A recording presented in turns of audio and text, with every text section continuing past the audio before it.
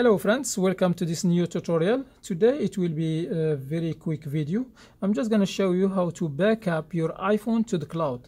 Many people they don't know how to do it, so that's why I decided to make this video to make things easier for people. Alright, so uh, to back up your phone, I mean your your pictures and your contacts to the cloud and save them uh, in the cloud, first of all you will need to have an account in the cloud if you want to know if you have an account in the cloud or not, you just need to go to settings and you will look at your phone. In the first uh, here, in the first of the page here on the top, you will see your name or the name of the, uh, the iPhone user, but it's supposed to be yours. So if you see the name, that means you already have an account in the cloud because you cannot see a name here if you don't have the account. So for this account, they call it iCloud account or they call it Apple ID. So it's the same thing. All right, so this is the first thing. You have an account and you want to back up all the pictures that you have on the phone to the cloud, okay? So let's go back. Then once you're sure you have the account, the second thing you need to know, you need to have a Wi-Fi connection so make sure for for me I am already connected to my Wi-Fi right here. So if you are not connected to the Wi-Fi you need to connect to the Wi-Fi. So to connect to the Wi-Fi you will need just to click on the settings. Then you will find here Wi-Fi click on it. Then you will see the list of the Wi-Fi the Wi-Fi is available. Select your Wi-Fi click on it. For example I'm just gonna click on this one. Then it will ask you for a password. You type your password then hit join. Then the phone will be connected to the Wi-Fi. In my case I'm already connected to the Wi-Fi okay?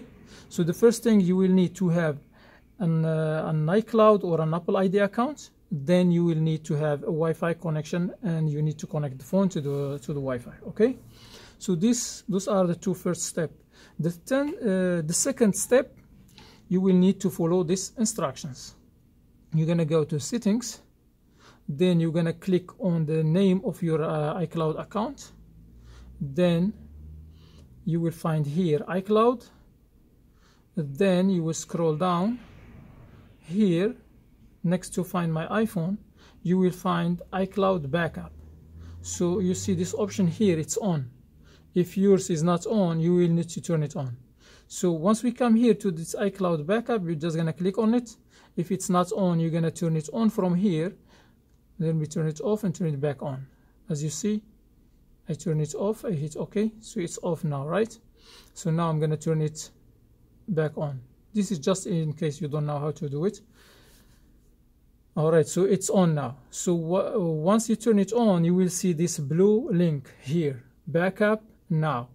If your phone is not connected to the Wi-Fi this backup now will look grayed out. So if it's gray you're not going to be able to it's not going to respond to the touch. Okay? So make sure it's blue. Then you click on it.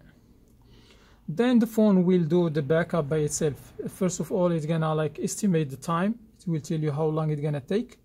And after that it will start the backup.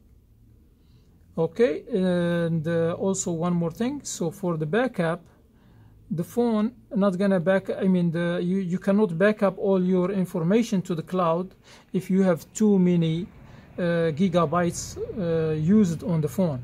So because the the space that you have in the cloud is limited. If you need more you need to buy. I think you pay one dollar for five gigabytes.